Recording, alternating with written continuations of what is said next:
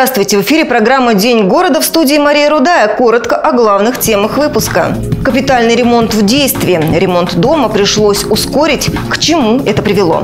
Детей похищают родные люди. Что толкает их на преступление?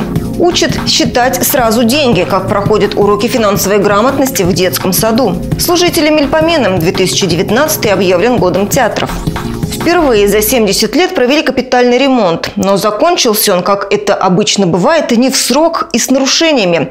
Из-за опоздания ремонт пришлось ускорить. Теперь все обстоятельства изучает инспекция из фонда капитального ремонта. О ходе проверки расскажет Валерий Седов. Вот, Пожалуйста, вот так вот мы встречаем праздник, Новый год. У мужа день рождения. В час ночи. Я внизу ходил до трех, а он чистил. Так новогодние праздники провели почти все жители верхних этажей дома 63 по улице Вознесенской. Самое интересное в этой истории то, что на протекшей крыше совсем недавно закончили проводить капитальный ремонт. Работы производились э, на протяжении нескольких месяцев, потом э, велись работы по замечаниям, по замечаниям старшего по дому, по замечаниям фонда.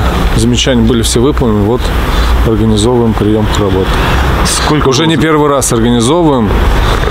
Ну вот, постараемся. Подрядная организация РСУ-1, которая ответственна за проведение работ, ссылается на некоторые спорные моменты. Мол, есть факт, что мужчина вышел на крышу очистить ее от снега и повредил, поэтому крыша течет. Ну там такие сосульки, там такие глыбы льда, что у нас опять потекло. В том месте, где мы более-менее заделали изнутри.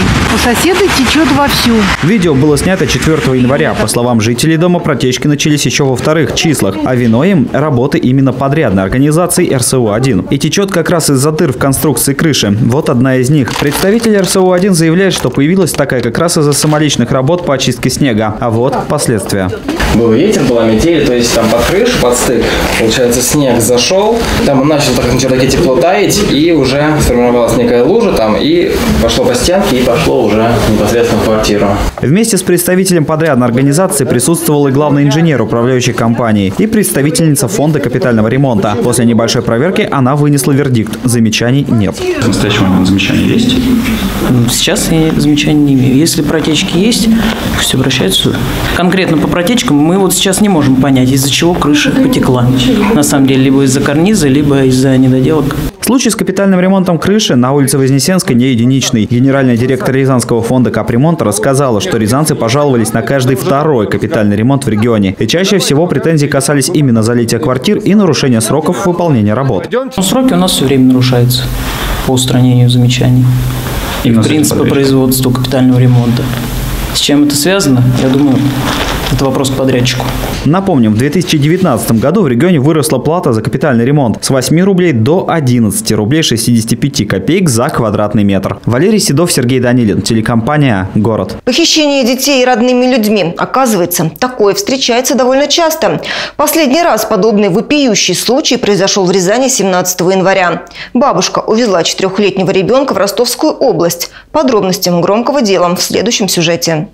Бабушка поместила четырехлетнего ребенка в сумку и отправилась прямиком на железнодорожный вокзал. На просьбу сотрудников полиции показать, что в сумке отреагировала крайне агрессивно, заявив, что это ее частная собственность и показывать она не обязана. Вот в последнем случае, э, когда в сумке бабушка вывезла ребенка, ну она, во-первых, там покусала э, и поцарапала судебного пристава и сотрудника полиции. Она вела себя совершенно неадекватно. Конечно, будет уголовное дело, но это уже, э, так сказать, дело правоохранительных органов. Я знаю, что последствия у нее будут очень серьезные. Этот случай, по словам специалистов, далеко не единственный. Подобные обращения в аппарат по защите прав детей поступают постоянно. Чаще всего родители после развода просто не могут поделить детей. Их не останавливает ни мнение ребенка, ни решение суда а иногда, как в последнем случае, посчитав постановление суда недостаточной причиной, в дело вступают бабушки, не понимая, что вредят этим и своим детям, и уж тем более внукам, у которых остается психологическая травма на всю жизнь. А, здесь это может сказаться самым разнообразным образом. То есть это и может быть и посттравматическое стрессовое расстройство, и склонность там, к депрессиям или еще как-то. Представьте себе маленького испуганного ребенка, который едет в какой-то сумке. Разумеется, для него это травма. Разумеется, чаще всего после этого ему придется обращаться к специалистам в области защиты психического здоровья. Сейчас данным делом занимаются сотрудники Следственного комитета. Следователи в ходе данной проверки установят все обстоятельства произошедшего.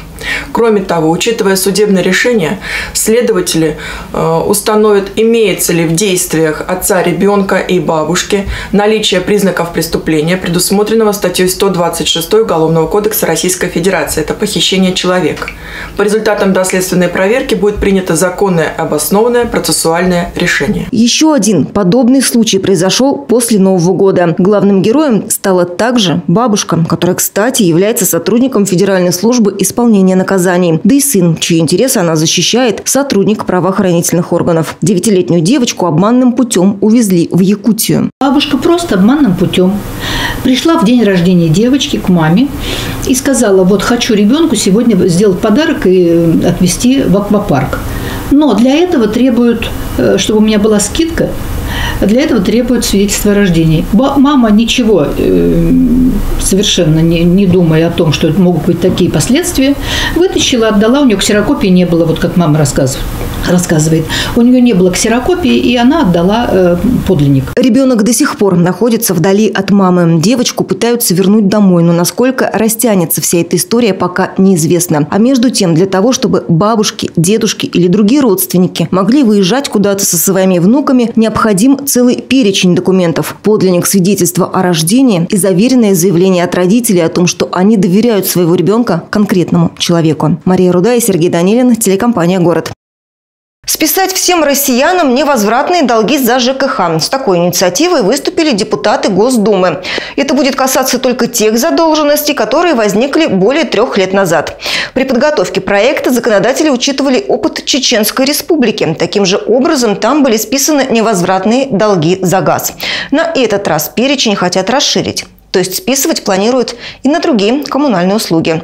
Напомним, в конце ноября 2018 года Владимир Путин подписал закон, в котором говорится о том, что через два года факт наличия задолженности за услуги ЖКХ должен будет подтверждаться только на основании судебного решения. После этого, чтобы получить субсидии и компенсации, не придется доказывать отсутствие долгов. Нечистоты в подвале, в квартирах постоянно стоит запах канализации. В шестиэтажке на улице полиграфистов периодически возникают проблемы с коммуникациями. Жители уже обращались в разные инстанции, но помощи так и не дождались. Без освежителя воздуха невозможно дышать. Каждое утро многодетной мамы Ольги Михайловны начинается с проветривания квартиры. Живет семья на первом этаже, а поскольку в многоэтажке часто происходят аварии, вынуждены дышать нечистотами. Сашина одежда. Оно, понимаете, оно этим пахнет. Вот, вот я ее стираю, курточки. Оно пахнет вот как, как вам сказать, цвелым цвелым воздух пахнет, вот одежда, которая все хранится внизу, ее обязательно на себя не оденешь уже с таким запахом. Ее надо либо перестирывать, либо что-то, что-то такое там, допустим, что не жалко, выкидываю. Последний прорыв произошел 2 января. Канализационные стоки заполнили подвал жилого дома. Мы постоянно на воде сидим. Нам всегда водоканал обещает откачать. ЖЭУ что-то пробует, но ничего они не делают, можно так сказать. Потому что диспетчерам мы постоянно звоним. Они говорят, мы передали мастеру. Мастер тишина. И вот все у нас стоит на уровне того, что мы постоянно на плаву. Жильцы дома постоянно звонят в аварийные службы. В этот раз повезло. Диспетчер водоканала ответил, засор наконец-то прочистили. Однако нет никаких гарантий, что он не появится вновь. Проживаем мы на первом этаже. У нас а, постоянно происходят засоры. Идут фекалии через унитаз, через ванную. Обращались в управляющую компанию и в жилинспекцию, и в прокуратуру, и в префектуру. Никакие меры не принимаются. До 2010 года у нас никаких никаких засоров не возникало. А вот с 2010 года 2018 мы э, боремся, но никаких мер не принимает ни управляющая компания, ни какие-либо э, вот, социальные службы. Вход в подвал сейчас закрыт, но, судя по пару, там до сих пор стоит вода. И даже здесь доносится невыносимый запах канализации. У аварийных служб к жителям тоже есть претензии. В канализации находят ветошь и погибших животных. Однако за всеми соседями не уследишь, а слуховые окна обязаны закрывать управляющие компании. И до тех пор, пока все коммунальные предприятия и жильцы не найдут общий язык, в многоэтажке снова и снова будут возникать проблемы с канализацией. Дина Ислеева, Станислав Кудряшов, телекомпания «Город». В минувшие выходные в регионе вновь произошли массовые ДТП. При этом среди пострадавших был ребенок. Чаще всего причиной аварий становится несоблюдение скоростного режима и, как следствие, потеря управления. Подробности далее. Ситуация на дорогах региона по-прежнему остается крайне сложной. За последние несколько дней произошло 9 дорожно-транспортных происшествий. В результате 3 человека погибли, 10 получили травмы. Одной из главных причин аварии остается несоблюдение правил дорожного движения. За минувшие выходные инспекторы выявили более 4 тысяч подобных случаев. Как следствие, ДТП с пострадавшими. 19 января примерно в 17 часов 45 минут на 180 километре автодороги М5 «Урал» 24-летний водитель, управляя грузовым автомобилем «Вольво» с полуприцепом, по предварительной информации не справился с рулевым управлением, совершил наезд на межосевое разделительное ограждение, после чего выехал на полосу встречного движения, где совершил столкновение с автомобилями Ford Mondeo, Renault Logan, Lada Priora, Audi A6 и Kia Rio. В дате происшествия травмы получили 5 человек, в том числе ребенок в возрасте 3 лет. По факту этого ДТП проводится проверка, обстоятельства уточняются. 20 января уже в Спасском районе произошла очередная очередная авария. 20 января примерно в 7 часов утра на 227-м километре автодороги М5 «Урал» в Спасском районе 29-летняя жительница Московской области, управляя автомобилем «Лада Приора», по предварительной информации не справилась с рулевым управлением, вследствие чего совершил наезд на препятствие с последующим опрокидыванием. В дате происшествия женщина получила травмы. Пострадавшей была оказана медицинская помощь. Сотрудники госавтоинспекции предупреждают автолюбителей о сложной ситуации на дорогах в связи с ухудшением погодных условий и просят быть предельно внимательными. Мария Рудая и Сергей Данилин, телекомпания «Город». Учат управлять расходами с детского сада. В Рязанском управлении Центробанка разработали программу для дошкольных образовательных учреждений. На занятиях детей учат составлять расходы семьи и планировать, на что потратить карманные деньги.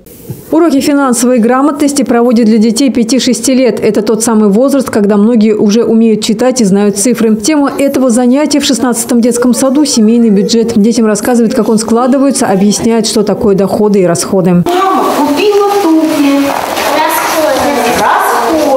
Воспитатель рассказывает, главная строка в семейном бюджете – расходы на питание, вторая – коммунальные платежи и плата за детский сад. И только если останутся лишние средства, можно потратить их на игрушки. Каждый месяц много слишком.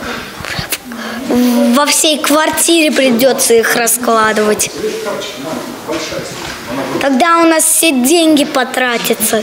Дети тоже могут внести свой вклад в сохранение семейного бюджета, например, экономить электроэнергию и воду, а также хорошо учиться, чтобы родителям не пришлось тратиться на репетиторов. У нас в Рязанской области ну, таких пять пилотных проектов, э, два непосредственно в областном центре, три в районах. И, соответственно, э, по результатам пилота мы сделаем вывод, как нам идти дальше.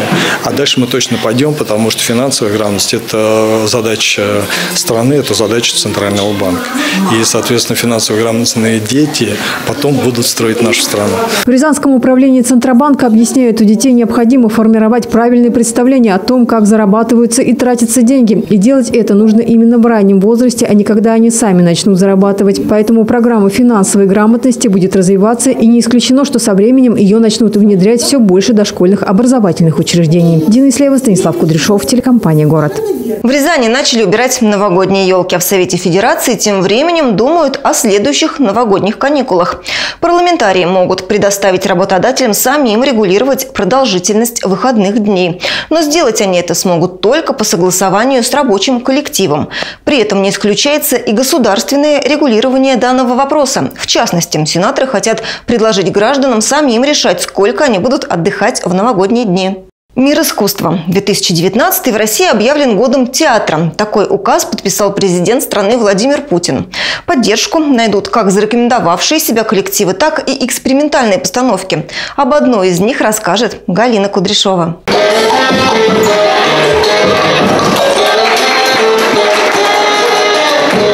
Перформанс о взаимоотношениях мужчины и женщины открыл фестиваль театра 21 века. Жанр пока непривычный, он скорее напоминает уличное искусство. Сценария нет, только заготовки сюжетных поворотов. Все остальное – чистая импровизация. Нельзя сказать, что он сильно распространен в России.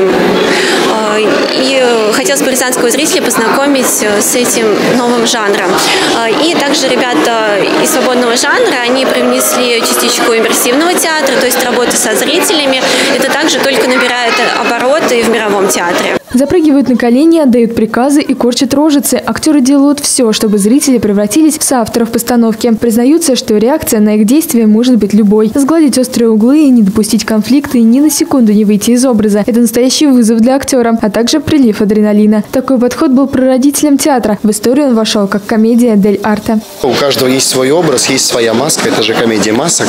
Вот, а у каждого есть своя характерность, да, соответственно. И уже исходя из этой характерности, да, э, идет взаимодействие персонажей, да, и как уже и какие-то конфликтные ситуации, которые постоянно подкидываются. Вот, это может развиваться до бесконечности на самом деле. Коллектив выступил в рамках фестиваля «Театр 21 века», который объединил как классических актеров, так и экспериментаторов на одной площадке. Зрители увидели пять спектаклей. Отрывок из постановки «А ты меня помнишь» показала театр-студия «Шанс». С перформансом «Точка» выступил театр «Дом». Пьесу «Сделка» представили «Рязанские читки». Открыл проект отрывок из спектакля студенческого театра «Переход». Очень трогательный спектакль. Если честно, прямо до мурашек пронзила. Прям молодцы ребята, играли хорошо. Впечатление очень э, хорошее, отличное. И понимаете, особенно в конце прям, ну даже вот я не могу вам передать, как до мурашек. Потому что искренне очень играли. И ну, очень здорово, мне понравилось. Организаторы планируют продолжить проект и радовать рязанцев новыми постановками и новыми именами в течение всего года. Ближайшие мы увидим уже весной. Галина Кудряшова, Станислав Кудряшов, телекомпания «Город». В завершении выпуска о погоде. По данным Рязанского гидромедцентра, 22 января на территории Рязанской области ожидается понижение температуры воздуха на 5 градусов и более по сравнению с предыдущими сутками. Рязанцев просят соблюдать простые правила безопасности. Ограничить время нахождения на улице, соблюдать особую осторожность за рулем. На случай отключения электричества в вечернее время держите на готове электрический фонарь. Не пользуйтесь для освещения открытым огнем. Это опасно опасно и может стать причиной пожара. При необходимости стоит сразу вызывать экстренные службы. Это все новости на сегодня. Еще больше информации вы найдете на нашем официальном сайте город62.тв и в социальных сетях. Я же на этом с вами прощаюсь и желаю всего хорошего.